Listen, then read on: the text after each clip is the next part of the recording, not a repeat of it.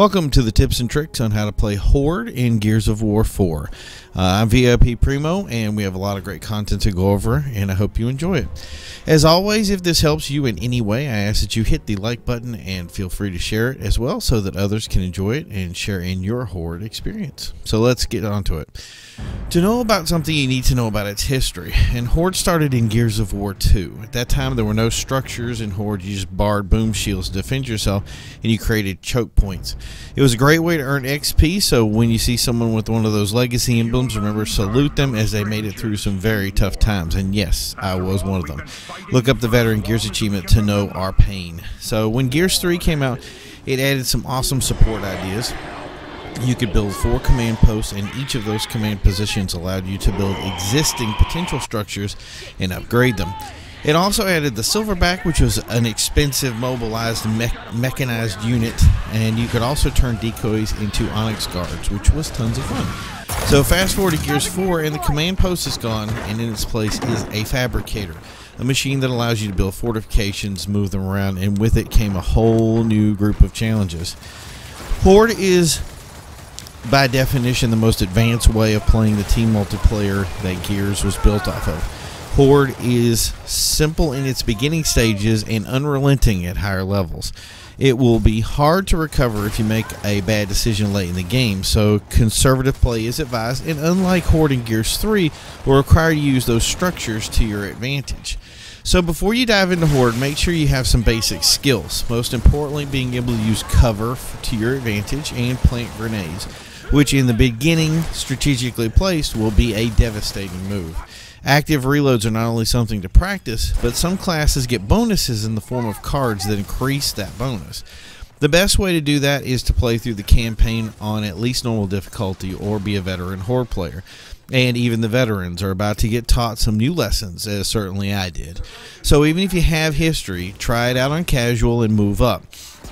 At normal, things change drastically, even for the veterans, and knowing that stupid little stuff will play a key role in your success. The first lesson is the most important one. If you want to have fun, don't play with randoms. In this horde, there are bounty cards that can boost your experience, and some of these complete on wave 10 or 20, which means that once you hit that wave, your newfound friends will go AWOL. So you need some dedicated dedicated players to go the long haul. The best way to fight Horde is to get a team.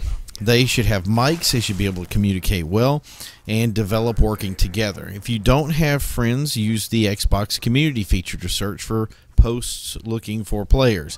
They'll throw you into the deep end quick, but that may be just what the doctor ordered. So even if you don't make friends, you'll have ample reinforcements hungry for the fight. I don't want to go over the entire basics of Horde. If you're a Poppin' Fresh Horde player, you may want to, to, go to an intro video someplace about Horde to go over the real basics. Um, I, I, think you know that there's an energy that enemies drop that can be returned to the Fabricator, which allows you to build more defenses. It's pretty simple. So the trick is getting the most energy, spending the least amount of energy, and making sure every bullet deals maximum damage. That may sound difficult at first, but follow this guide and you'll be a well-oiled machine in no time fast. So before you start Horde, you're going to be selecting a class and cards that best work for what you plan to do do yourself a favor and don't ignore the bounty spot. I'm not going to argue about bounties, that's a different conversation, but just consider using one. You can thank me later. So now let's review the classes. Obviously, this is your first Horde experience. What do you pick first? Well, I'll review the easiest classes in order and also the class cards that'll make or break that class. First is a scout. Now, the scout's job is to collect the energy and bring it back to the fabricator. They get a free bonus that during an active round, every energy pickup is doubled. So not only should every team have one, they should be the only person even looking at energy anyone can be a scout and they are never lonely on Friday night. And I know there are some people who are going to argue with me on this, but honestly, all you need is that bonus deposit card, which maxed out means that you'll be depositing two and a half times energy at every visit to the fabricator. And that's not counting other energy bumps. And that could leave your fabricator as an overflowing cup of coffee. That being said, Scout is the most important member of your crew. Once they reach level 10, they can be tanks. Even with level 3 cards, they can run through the enemy offenses like butter and their best ability is natural, basically giving them a card for free.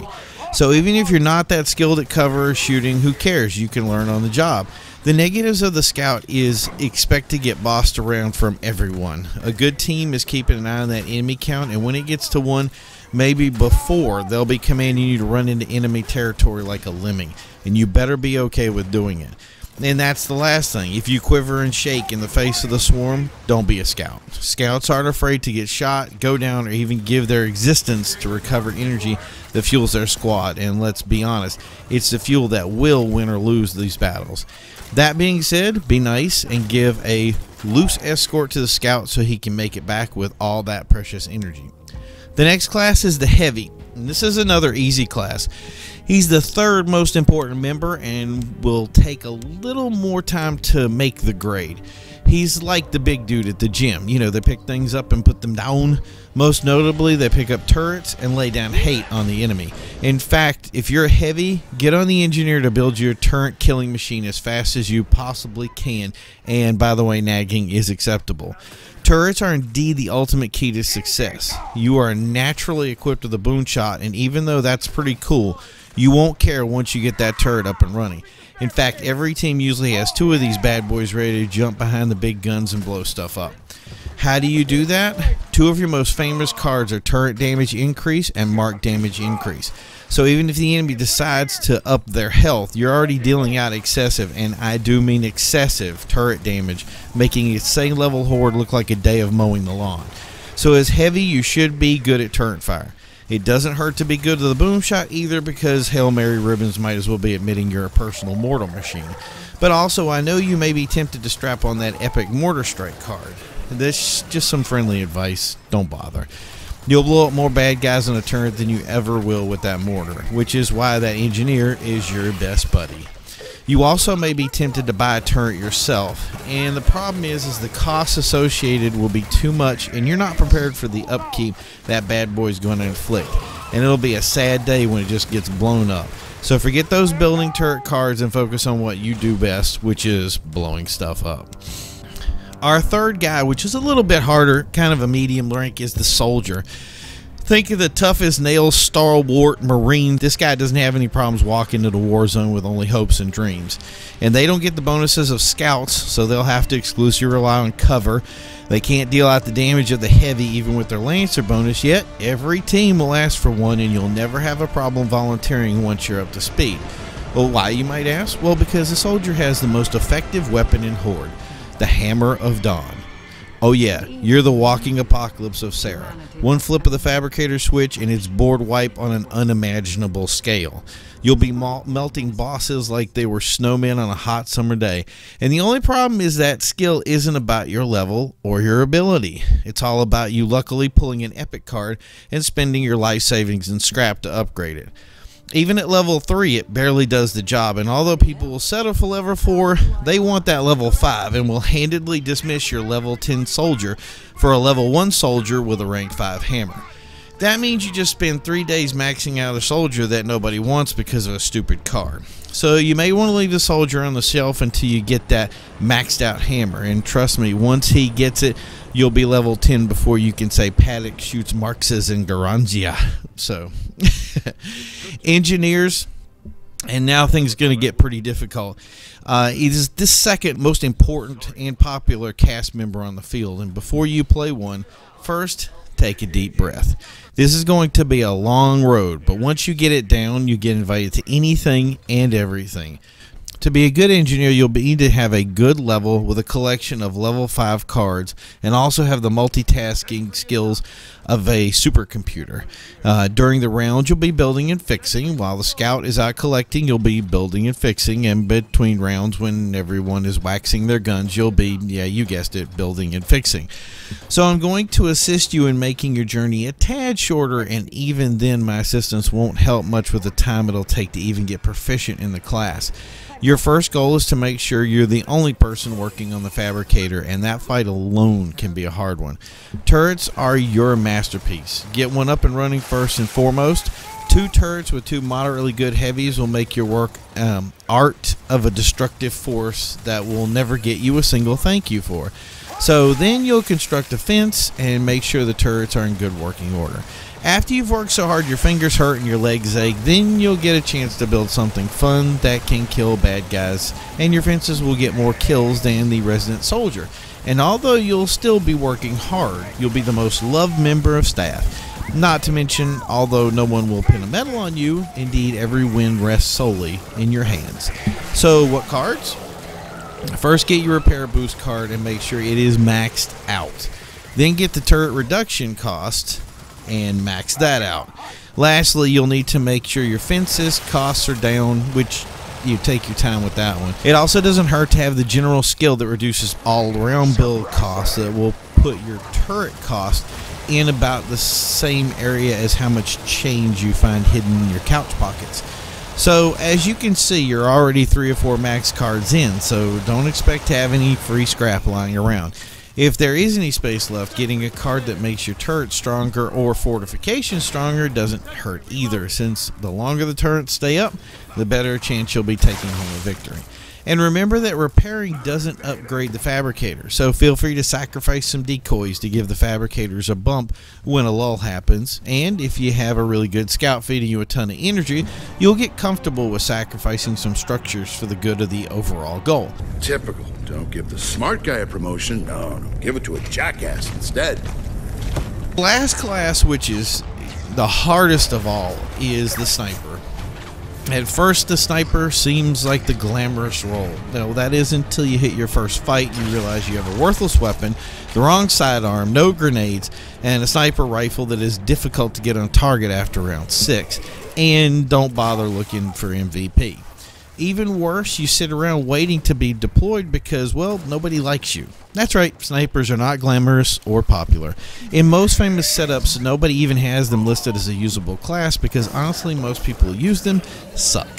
To be a good sniper and get invites back, you'll need to be a master shooter, which means only hitting things in the head.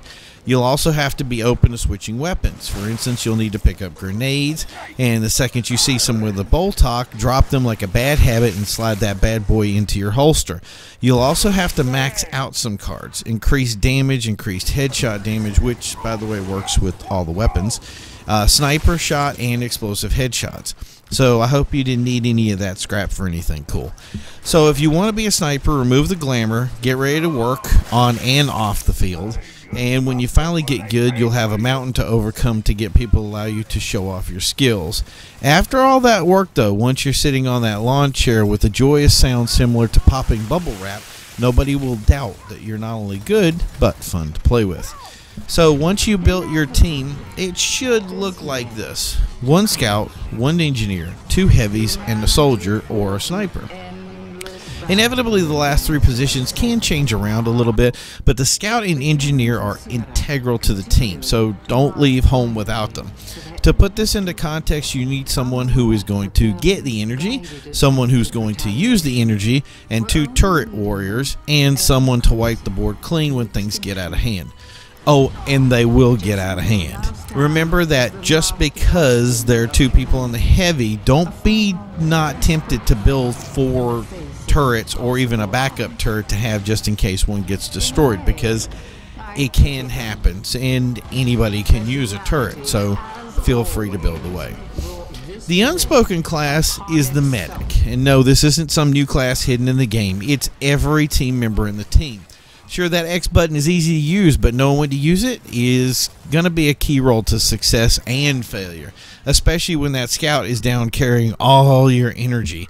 Knowing when to run out into that kill zone isn't something they teach you in Horde School either. You'll have to learn it the painfully hard way. And also, one member of the team having the Team Revive card uh, generally isn't a bad idea either. So, once the round started, You'll need a spot for the fabricator. So remember, this is your base. You're not going to have time to move it around. And in fact, 99.99% of the Horde games I play, the fabricator drops and it never moves again.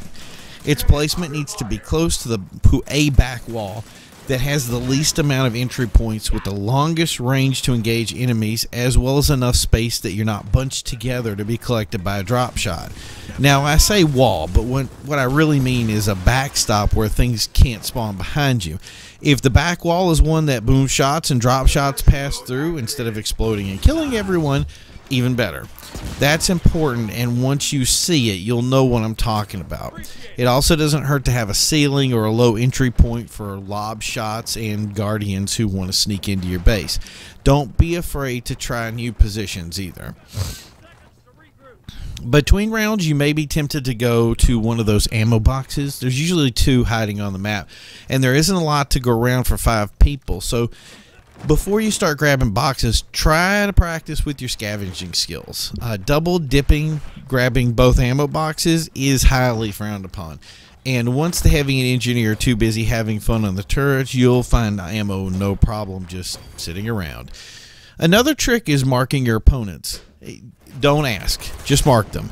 Some class skills cards boost on marked enemies, such as those required by the heavies, you know, your most important units, and the devastating guys behind the turrets. So just don't ask, just mark. My last suggestion is not to face off against big opponents. They are slow and have a tough time moving. So get in behind them and shoot them before they can turn around uh, debilitating their ability to react. And nothing says you're awesome like seeing someone run into a room, drop a scion by themselves, and then run out completely unscathed. So I'm going to give you some other cool ideas uh, that you may not be aware of to think outside the box in your playing style to have a little bit more fun. So let's say you want to be a sniper, but you get more ladies being a scout. It's no problem. Try being a scout sniper. Remember that any class can use any weapon. Well, early on, that EMBAR gets dropped pretty fast, and you can pick it up, and it is devastating. Sure, it's hard to use, but while you're waiting for that last enemy, you're not doing anything important, are you? Besides, that shotgun is your real powerhouse weapon, so your secondary weapon can be whatever you want it to be. Trust me, popping heads can get addictive, and chicks love it.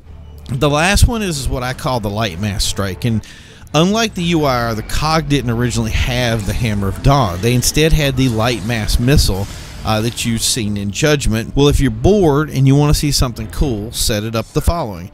Remember, we spoke earlier how the mortar strike sucks? Well, the heavy has another ability called ping damage, um, and that's a boost that does his damage if enemies are pinged. Well, the sniper has the ability that he can hit the fabricator and ping every enemy on the map. So first have the sniper ping the map, and then heavy heavy call in the mortar strike. And you've just re- recreated the famous last light mass strike from the Judgment game with Baird and Cole. Congratulations.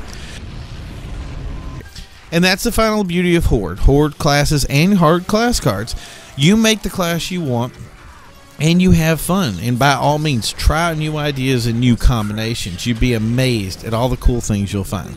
Thanks for watching. Have a great day. Oh, and if you have any ideas, you have those comments below and that pesky like button to get out of the way. And I appreciate it.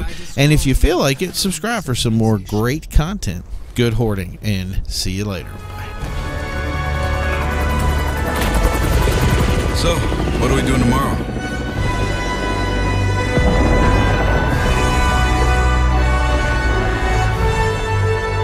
Earlier today, your gears successfully deployed the light mass bomb. We have destroyed the enemy stronghold. This war has exacted a heavy price from all of us. It has torn our world apart. But you have my word that we will rise again.